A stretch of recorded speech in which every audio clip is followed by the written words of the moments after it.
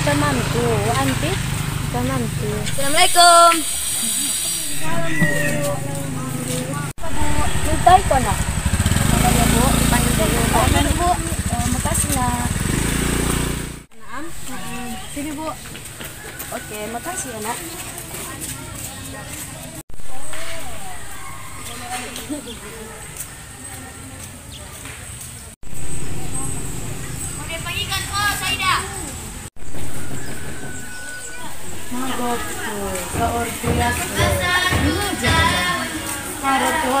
dimla maja tu hati.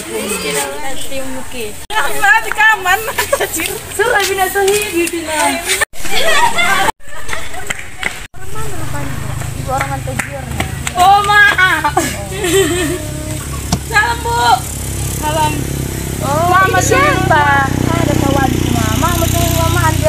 datang hujan tadi na. Lima. Udah pernah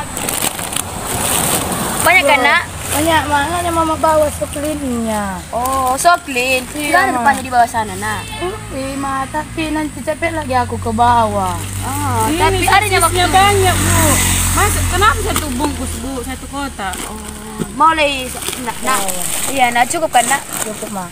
Uangmu masih ada? Enggak lagi, Ma. Tong, nggak ada lagi. Udah kosong. Tong berapa lagi nak? Mau mau? Tapi kayak biasanya, Ma, 200 ribu. Dua ribu ya nak? Iya, Ma. Jangan jangan boros-borosnya nak. Iya, Ma. Ih, nggak ada lagi uang mama ini nak. Udah. Nana, hebat-hebat ya. Iya, Ma. Jangan boros-boros. Iya, Ma. Bagus-bagus kau di sini. Iya, Ma. Jangan membandal. Iya, Ma. Iya. Pergilah mama ya. Iya, Ma. Dan lupa datang lagi, ya, Ma. Ya jangan berantem kamu ya nak. Iya, Bu. Enggak apa itu. Iya, pergi mama ya. Iya, Bu. Datang mamaku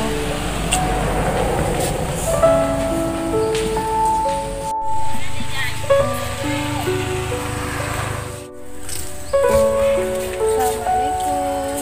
Salam bu. Dari siapa bu? Siapa? Ada nih. Bentar ya bu, dipanggil dulu.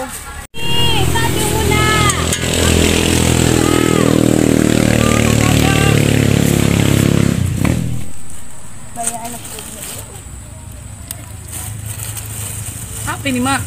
Jajan bu, dan ada yang mudah mbak. mak yang dikit lah ini mak? Gimana dong duit duit nih mak? Cukup cukup kan mak bisa mingguan. di kepala lah cukup itu. Cukup deh. nanti beli bakwan kawanku. Aku nggak beli lah itu dah Beli buat seribu bisa mak. iya mak. Hati-hati mama ya mak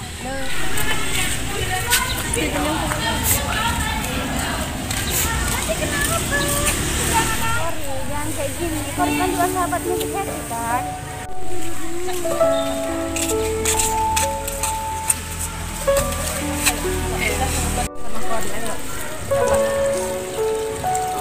Ayo kita sama Kori.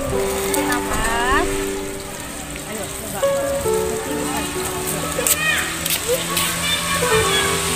kenyataan Kenapa ya lihat minta itu orang tuanya datang bawa makanan yang enak-enak Hati kan juga banyak ini enak juga.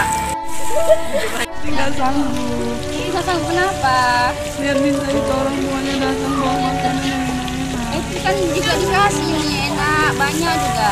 uangnya juga lebih banyak dari Happy Hati emang dikasih berapa sama orang tua? lima ribu dalam satu minggu Bukan lebih dari cukup bukan? Hati kurang dengan lima ribu. iyalah Kita itu dunia ini itu sama. Yang membedakannya apa? Hanya iman dan takwa. Jadi hati harus ikhlas menghargai semua.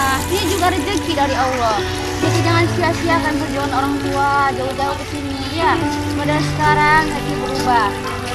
Coba ikhlas dan tabah ya. kasih Tuhan